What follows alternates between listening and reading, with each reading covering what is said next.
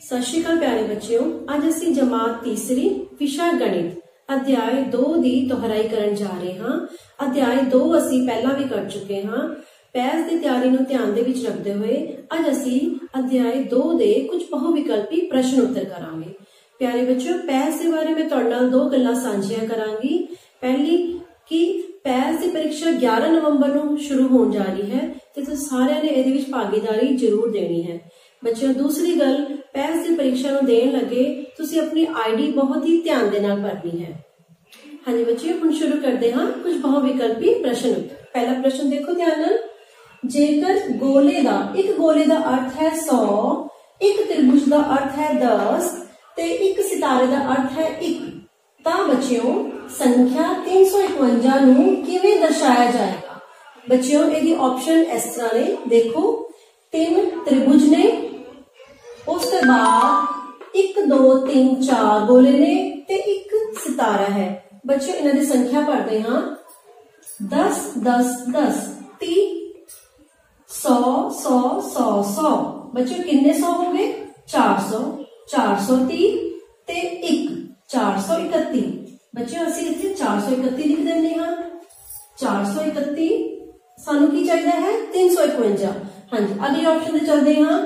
ਬੱਚਿਓ ਇੱਕ ਗੋਲਾ ਹੈ 100 ਦੇ ਬਰਾਬਰ 100 200 300 ਤੇ ਇੱਕ ਤ੍ਰਿਭੁਜ ਹੈ 10 ਦੇ ਬਰਾਬਰ 300 ਤੇ 10 310 320 330 340 ਬੱਚਿਓ ਇੱਕ ਕੁੱਲ ਰਕਮ ਬਣੀ 340 ਹਾਂਜੀ ਅਗਲੀ ਰਕਮ ਤੇ ਚਲਦੇ ਹਾਂ ਬੱਚਿਓ ਇੱਕ ਗੋਲਾ ਹੈ 100 ਦੇ ਬਰਾਬਰ 100 200 300 और a है 10 ਦੇ ਬਰਾਬਰ ਤੇ 310 320 330 340 350 ਤੇ ਬੱਚਿਓ ਇੱਕ ਸਿਤਾਰਾ ਸੀ 1 ਦੇ ਬਰਾਬਰ 351 ਬੱਚਿਓ 351 ਅਸੀਂ ਇਸ ਤਰੀਕੇ ਦੇ ਨਾਲ ਫਿਲ ਕਰਾਂਗੇ ਹਾਂਜੀ ਈਡੀ ਆਪਸ਼ਨ ਅੱਗੇ ਅਸੀਂ ਸਹੀ ਦਾ ਨਿਸ਼ਾਨ ਲਗਾਵਾਂਗੇ ਬੱਚਿਓ ਅਗਲਾ ਸਵਾਲ ਦੇਖੋ 500 ਜਮਾ 40 ਜਮਾ 6 ਹਾਂਜੀ ਬੱਚਿਓ ਇਸ ਸਵਾਲ ਨੂੰ ਅਸੀਂ ਹੱਲ ਕਰਕੇ ਦੇਖਦੇ ਹਾਂ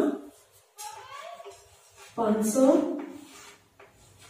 40 ਤੇ 6 ਬੱਚਿਓ ਇਸ ਨੂੰ ਜੋੜਨਾ ਹੈ ਪਹਿਲੇ ਬੱਚਿਓ ਇੱਥੇ ਆਊਗਾ 6 4 ਤੇ 5 546 ਹਾਂਜੀ ਬੱਚਿਓ ਆਪਸ਼ਨ ਏ ਦੀ ਤੇ ਅੱਗੇ ਅੱਗੇ ਅਸੀਂ ਸਹੀ ਦਾ ਨਿਸ਼ਾਨ ਲਗਾਵਾਂਗੇ 546 ਅਗਲਾ ਪ੍ਰਸ਼ਨ ਦੇਖੋ ਦਿੱਤੇ ਫਲੈਸ਼ ਕਾਰਡਾਂ ਨਾਲ ਕਿੰਨੀਆਂ ਸੰਖਿਆਵਾਂ ਬਣ ਸਕਦੀਆਂ ਹਨ ਹਾਂਜੀ ਬੱਚੇ ਫਲੈਸ਼ ਕਾਰਡ ਹੈਗੇ ਨੇ 4 6 ਤੇ 9 ਦੇ ਤਿੰਨ ਫਲੈਸ਼ ਕਾਰਡ ਦਿੱਤੇ ਹੋਏ ਨੇ ਤੇ ਇਹਦੇ ਆਪਸ਼ਨਸ ਨੇ 3 6 4 ਤੇ 7 ਹਾਂਜੀ ਬੱਚਿਓ ਇਸ ਨੂੰ ਹੱਲ ਕਰਦੇ ਹਾਂ ਸਭ ਤੋਂ ਪਹਿਲਾਂ ਅਸੀਂ ਇਹੀ ਰਕਮ ਐਸੇ ਤਰੀਕੇ ਦੇ ਨਾਲ ਲਿਖ ਦਾਂਗੇ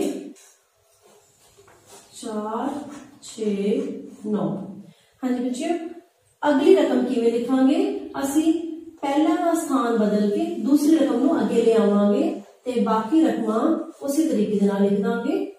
ਫਿਰ ਕੀ ਹੋਏਗਾ ਬੱਚਿਓ? ਅਗਲਾ ਹੈ 9 4 ਤੇ 6 ਹੁਣ ਬੱਚਿਓ, ਇੱਕ ਟ੍ਰਿਕ ਹੈ, ਉਹ ਕਿਵੇਂ ਸਮਝਣੀ ਹੈ? ਇਸ ਦਾ ਸਥਾਨ ਉਸੇ ਤਰੀਕੇ ਦੇ ਨਾਲ ਰਹਿਣ ਦਵਾਂਗੇ ਤੇ ਇਹਨਾਂ ਦੋਨਾਂ ਦੇ ਸਥਾਨ ਨੂੰ ਅਸੀਂ ਆਪਸ ਦੇ ਵਿੱਚ ਬਦਲ ਦਵਾਂਗੇ। ਜਿਵੇਂ 4 6 9 ਸੀ, ਅਸੀਂ 4 ਨੂੰ ਉਸੇ ਥਾਂ ਤੇ ਰਹਿਣ ਦੇਣਾ ਹੈ।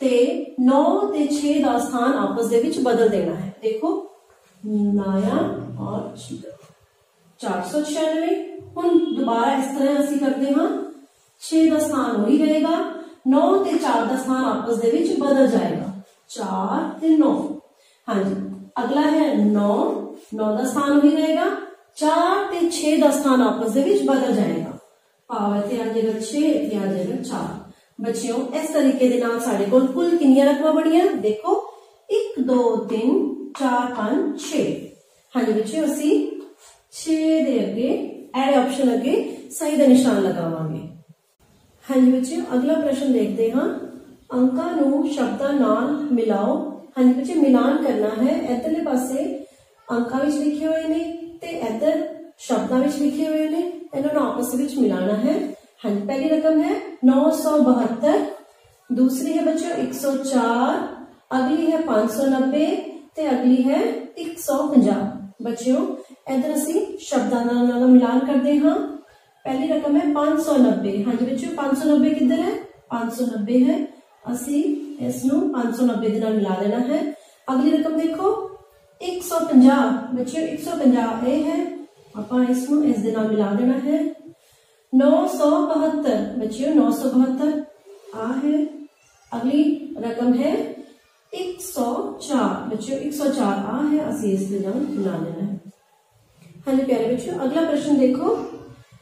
हरनीम कोल अठारह टाफिया, परनीत कोल बी टाफिया, सुखदेव कोल पंद्रह टाफिया हैं सारिया कोल कुल किनिया टाफिया हैं कि पता करोगे? बच्चों ਜਿੱਥੇ ਵੀ ਤੁਹਾਨੂੰ ਕੁੱਲ ਸ਼ਬਦ ਆ ਜਾਂਦਾ ਹੈ, ਉਸ ਦਾ ਭਾਵ ਹੁੰਦਾ ਹੈ ਜੋੜ। ਹਾਂਜੀ, ਪਹਿਲਾਂ ਆਪਸ਼ਨ ਦੇਖ ਲੈਂਦੇ ਹਾਂ, ਕਿਵੇਂ ਪਤਾ ਕਰਾਂਗੇ? ਜੋੜ ਕਰਕੇ, ਘਟਾਓ ਕਰਕੇ, ਗੁਣਾ ਕਰਕੇ ਜਾਂ ਭਾਗ ਕਰਕੇ। ਬੱਚਿਓ, ਕੁੱਲ ਦਾ ਅਰਥ ਹੁੰਦਾ ਹੈ, ਕੁੱਲ ਦਾ ਮਤਲਬ ਹੁੰਦਾ ਹੈ ਆਪਾਂ ਜੋੜਨਾ ਹੈ। ਤਾਂ ਉਹਦਾ ਆਪਸ਼ਨ ਦੇ ਅੱਗੇ ਅਸੀਂ ਸਹੀ ਦਾ ਨਿਸ਼ਾਨ ਲਗਾਵਾਂਗੇ। ਜੋੜ ਕਰਕੇ ਸਾਨੂੰ ਪਤਾ ਲੱਗੇਗਾ ਕਿ ਉਹਨਾਂ ਤਿੰਨਾਂ ਦੇ ਕੋਲ ਕਿੰਨੀਆਂ ਟੌਫੀਆਂ ਸਨ, ਕੁੱਲ ਕਿੰਨੀਆਂ ਟੌਫੀਆਂ ਸਨ। ਹਾਂਜੀ, ਬੱਚਿਓ, ਇਹ ਸੰਕੁਚ ਬਹੁ ਵਿਕਲਪੀ ਪ੍ਰਸ਼ਨ ਉੱਤਰ ਤੇ ਹੁਣ ਤੁਸੀਂ ਇਹਨਾਂ ਦੀ ਦੁਹਰਾਈ ਕਰਨੀ ਹੈ। ਧੰਨਵਾਦ।